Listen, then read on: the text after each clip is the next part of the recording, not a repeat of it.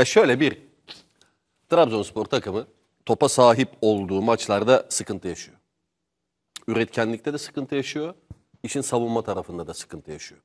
Kazandığı ve nispeten iyi oynadığı maçlara baktığımızda rakiplerin topla çok daha fazla oynadığını görüyoruz. Fenerbahçe deplasmanı, Beşiktaş'la içeride oynadığı maç. e, bu tip maçlarda Trabzonspor takımı gardını iyi alıp çabuk çıkıp bir şekilde sonucu alıyor.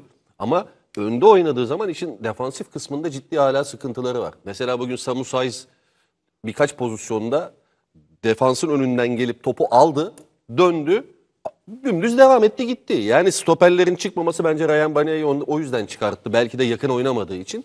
Ee, yani çok kolay bir şekilde kendi kalesine rakibin gelmesine izin veriyor. Böyle olduğun zaman da sıkıntı yaşıyorsun. Bunu bir şekilde Abdullah Avcı'nın bir kere halletmesi lazım. Çünkü bu resmen yani o çok net bir şekilde rakamlarla gözüken bir durum.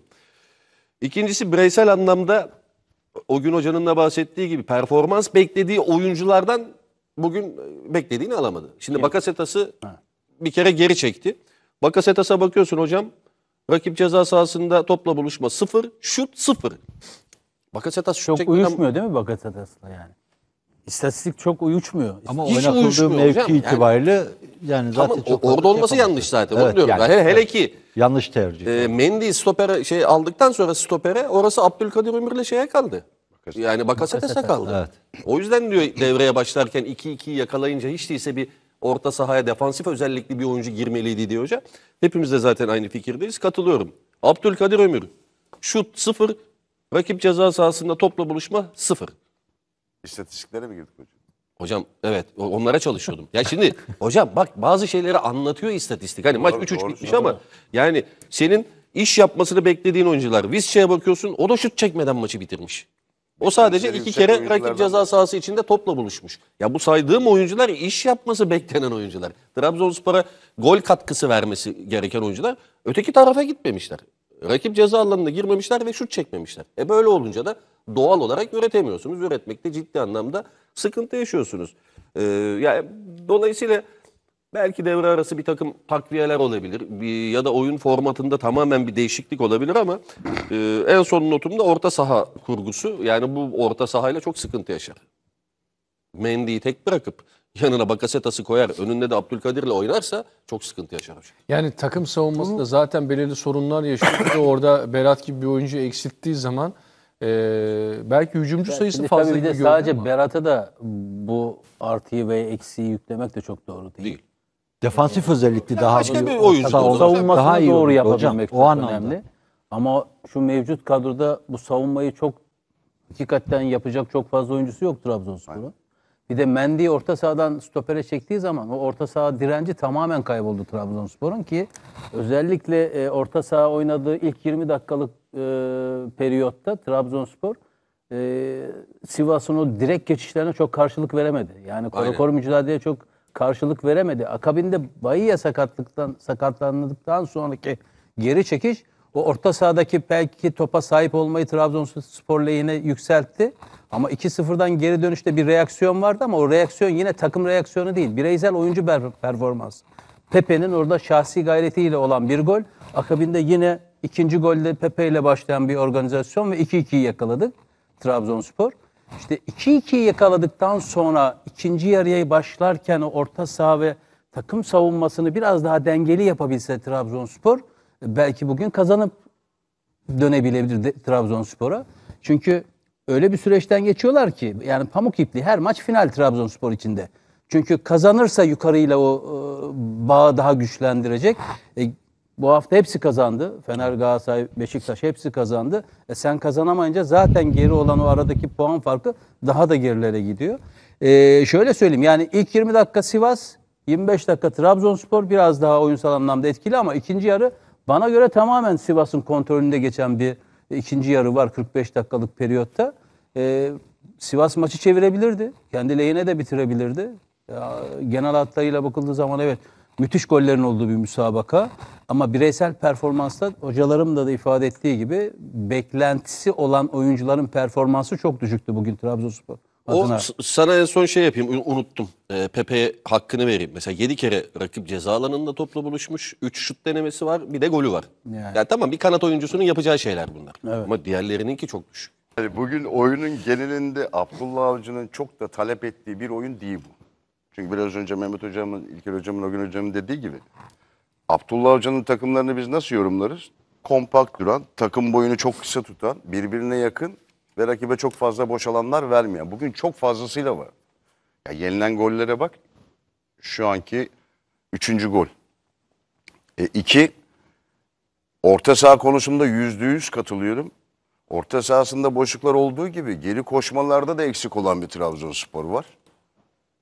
E, üç, kaliteden bahsediyoruz değil mi Trabzonspor'da? İşte hocalarım hepsi isim söyledi. Kalite nerede çıktı biliyor musunuz? 39 ile 45 artı 1'de. Ondan sonra yok. Pepe mi? Yani. Ya söylenecek aslında çok fazla bir şey yok. Oyun Trabzonspor'un oyunu olmadığı gibi Abdullah Hoca'nın da çok da talep ettiği bir oyun olmadığı bir gerçek. Burada artık yavaş yavaş hani orta sahasındaki hamleler, isimler olarak karşımıza nasıl çıkar bundan sonraki hafta? Orasını düşünecek, karar verecek olan Abdullah Avcı'dır. Hani bugün 6 gol var ama kazanan yok. Karadeniz fırtınasında Abdullah Avcı'dan zorlu tercih. Trabzonspor Teknik Direktörü Abdullah Avcı, Sivas Spor maçının 11'ine çalışırken, forvet hattında tatlı bir sıkıntı içine düştü. Tecrübeli çalıştırıcı, Bakasetas'ın Yunanistan milli takımından formda dönmesi nedeniyle Abdülkadir Ömür ile arasında bir tercih yapmak zorunda kalacak. Sivas Spor ile oynanacak maç için dersini iyi çalışan Trabzonspor Teknik Direktörü Abdullah Avcı, ilk 11'ini şekillendirirken, Abdülkadir Ömür'ü nerede oynatacağını düşünüyor.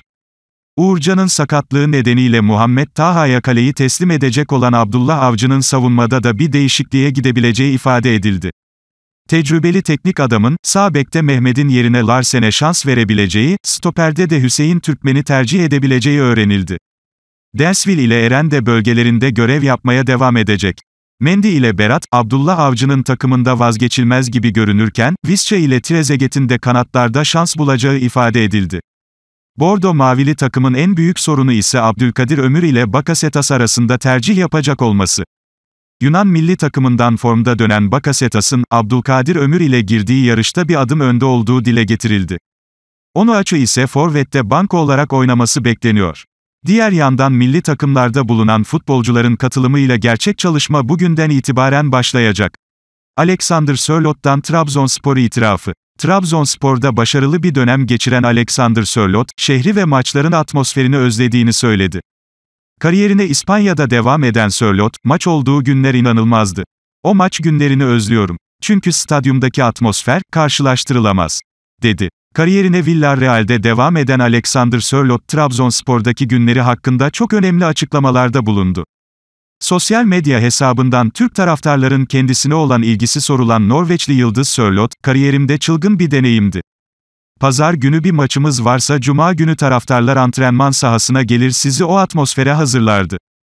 Maç olduğu günler inanılmazdı. O maç günlerini özlüyorum. Çünkü stadyumdaki atmosfer, karşılaştırılamaz.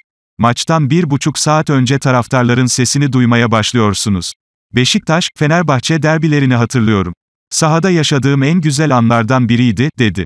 Villarreal'de başarılı bir sezon geçiren Sörlot, Trabzonspor günlerini aratmıyor. La Liga'da Villarreal formasıyla çıktığı 13 maçta 6 gol atan oyuncu bir de asist yaptı. Trabzonspor formasıyla 49 resmi maça çıkan Sörlot 33 gol atmıştı. Sörlot'un güncel piyasa değeri 14 milyon euro. Trabzonspor'un eski golcüsü kulüp arıyor. Karadeniz Fırtınası'nın eski golcüsü zor zamanlar geçiriyor. Trabzonspor'un şampiyon kadrosunda olan golcü oyuncu Andreas Cornelius eski günlerini arıyor. Kopenhag'a transfer olduktan sonra performansında çok gelgitler yaşayan futbolcu kariyerinin en kötü günlerini yaşıyor.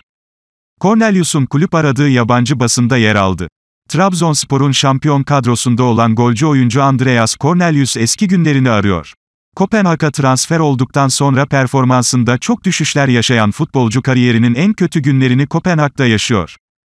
Futbolcunun kulüp aradığı öğrenildi. Yabancı basında geçen iddialara göre, Trabzonspor'un şampiyon kadrosunda yer alan şampiyonlukta büyük rol oynayan Danimarkalı Andreas Cornelius ani bir karar ile Kopenhag'a transfer olmuştu.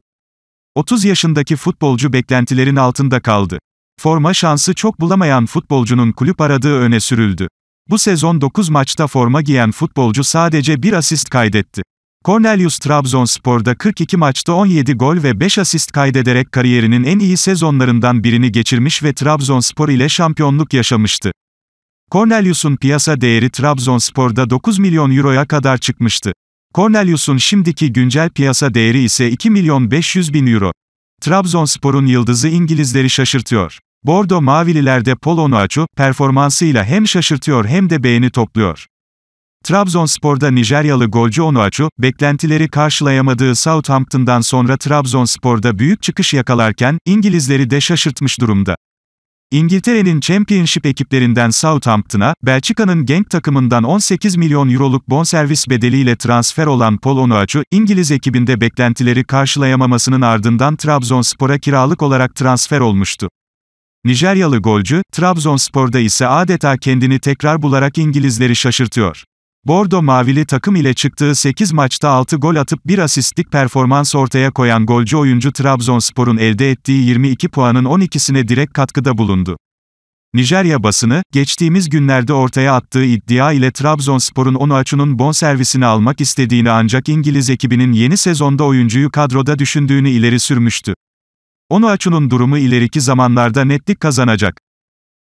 Trabzonspor Başkanı Ertuğrul Doğan Trabzonspor gelecek sezon şampiyon. Başkan Ertuğrul Doğan, sponsorlukları halledersek, herkes maddi manevi üzerine düşeni yaparsa, bu sene olmazsa bir sonraki sene şampiyon oluruz, şeklinde konuştu. Karadeniz fırtınasının zirve yıl arasındaki puan farkını 9'a indirmesinin ardından taraftarlar, şampiyonluğu daha fazla dillendirirken Başkan Ertuğrul Doğan'dan konu hakkında çok önemli açıklamalar geldi. Son şampiyonluktaki ekipte yer aldığını söyleyen Ertuğrul Doğan iddialı sözler söyledi.